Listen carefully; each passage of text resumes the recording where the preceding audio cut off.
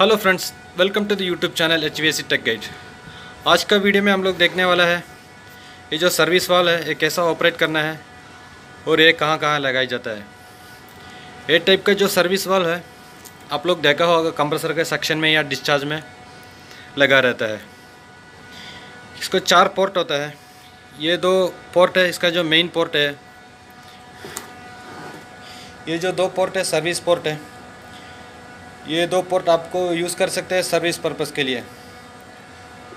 System में vacuum करना है रिकवरी करने का है, कुछ गैस डालने का है, और इधर कुछ suction pressure discharge pressure transducer लगाने का है high pressure low pressure switch लगाने का है, लगा सकता है।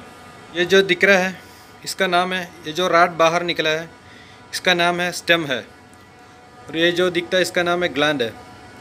ये जो वाइट कलर जो दिखता है, ये जो इसका गैसकेट है टफलॉन गैसकेट है, ये गैस को रोकता है। ये जो पोर्ट है कंप्रेसर का बॉडी में गैसकेट का साथ फिक्स किया रहता है। और ये जो पोर्ट है सक्शन लाइन या डिस्चार्ज लाइन में फिक्स किया रहता है। इसमें भी इसका अंदर भी गैसकेट डालने का है। ये टाइप का जो वाल में तीन पोजीशन होता है।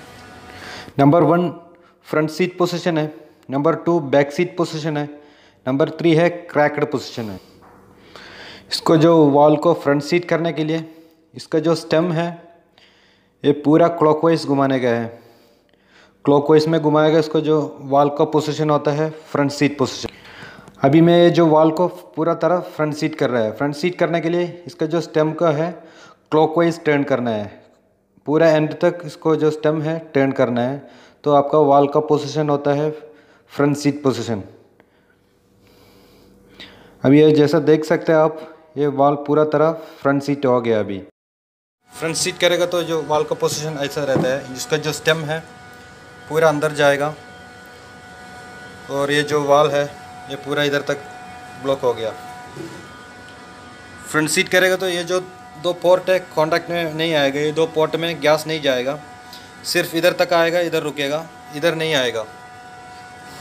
सिर्फ़ ये दो पोर्ट कॉन्टैक्ट में रहेगा, ये दो पोर्ट में गैस फ्लो जाएगा और ये दोनों कॉन्टैक्ट में रहेगा। फ्रेंड्स अभी मैंने आप लोग को इसी समझने के लिए, ये जो वाल का चारों पोर्ट है, उसको अलग अलग नाम दिया है ए बी सी डी करके। तो आप लोग को इसी समझ में आ जाए। अगर आपका वाल का जो पोजीशन है फ्रंट सीटेड पोजीशन में है तो आपका वाल का ओपनिंग क्लोज इस तरह रहेगा। ये एंड बी पोर्ट है, वो क्लोज में रहेगा फ्रंट सीटेड पोजीशन में। ये एंड सी ओपन रहेगा बी एंड डी ओपन रहेगा। सर्विस वाल का ये दो पोर्ट है, ये साथ में पूरा टाइम ओपन रहता है।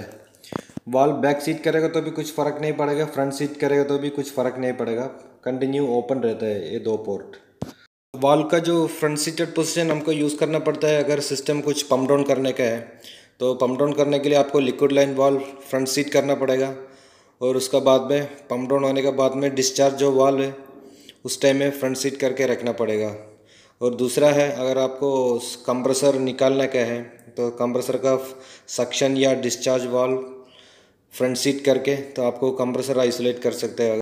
फ्रंट सीटेड पोजीशन में आपका जो कंप्रेसर है, वो कभी भी चालू नहीं करने हैं। अगर चालू करेगा कंप्रेसर का रिलीफ वाल ओपन होने के चांस है। इसलिए कभी भी कंप्रेसर चालू का चालू करने के पहले suction discharge service valve backseat करके उसका बाद में ही कंप्रेसर चालू करना है। सर्विस वाल का दूसरा पोजीशन है, बैकसीट पोजीशन। सर्विस वाल को बैकसीट करने के लिए इसका जो स्टेम है जैसा आप वीडियो में दिखता है। इसका जो स्टेम को पूरा एंटी क्लॉकवाइज लास्ट तक घुमाएगा तो है जो इसका पोजीशन बैक सीट पोजीशन में आ जाएगा। नॉर्मली ये कंप्रेसर रनिंग टाइम में इसका जो वाल का पोजीशन बैक सीट रहना चाहिए। अभी ये जो सर्विस वाल है, इसका जो पोजीशन है, पूरा तरह से बैक सीट हो गया है।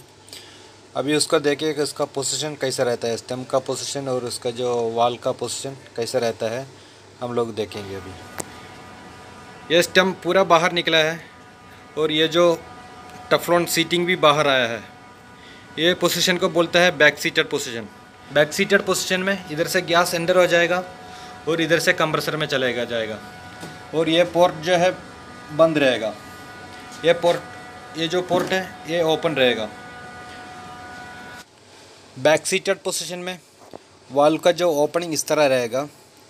ये जो सर्विस पोर्ट है, जो स्टेम का पास जो सर्विस पोर्ट है डी वो सिर्फ़ बंद रहेगा। बाकी तीनों पोर्ट है, आपस में ओपन रहेगा। ये बी सी ओपन रहेगा साथ में। कंप्रेसर रनिंग टाइम में वाल का जो पोजीशन बैक सीटेड रहता है। अगर आपको सर्विस वाल का ये जो पोर्ट यूज़ करने के लिए, जैसे आपको प्रेशर चेक करने का है, कुछ गैस चार्जिंग करने का है तो आप ये पोर्ट यूज़ करने के पहले, सबसे पहले आपको वाल को बैक सीट करना है। उसका बाद में जो भी गेज लगाने का गेज लगा के फिर उसको क्रैक्ड पोजीशन में रख के फिर यूज़ करना है, नहीं तो उसमें से गैस आने के चांस है। सर्विस वाल का तीसरा पोजीशन जो है, क्रैक्ड पोजीशन है। सर्विस वाल को क्रैक्ड पोजीशन में करने के लिए जो सर्विस वाल जो है, बैक सीटेड पोजीशन से इसको दो राउंड आगे घुमाना है। जैसा आप देख सकते हैं, इस तरह से क्रैक्ड पोजीशन में करने के लिए, बैक सीटेड पोजीशन से थोड़ा दो राउंड क्लॉकवाइज में घुमाएगा तो एक क्रैक्ड पोजीशन में वाल आ जाएगा। सर्विस वाल का एक क्रैक्ड पोजीशन में, जो सर्विस वाल के जो दो सर्विस पोर्ट और दो मेन पोर्ट है, ये पूरा ओपन रहता है। ये जो पोजीशन मेनली यूज़ करता है सर्विस पर्पज़ के लिए, क्योंकि कुछ गैस डालने का है, अगर कुछ प्रेशर चेक करने का है तो आपको कंप्रेसर भी रनिंग होना चाहिए और रेफ्रिजरेंट भी फ्लो होना चाहिए। फ्रेंड्स, उम्मीद करता हूँ जो सर्विस वाल का जो फ़ंक्शन है और कैसा यूज़ करना है, आप लोगों को समझ में आया होगा। अगर आपको वीडियो पसंद आ गया तो चैनल को ज़रूर सब्सक्राइब कीजिए लाइक कीजिए शेयर कीजिए कमेंट्स कीजिए। ये जो चैनल पे है H V S and electrical का वीडियो आता रहेगा। Thank you for watching the video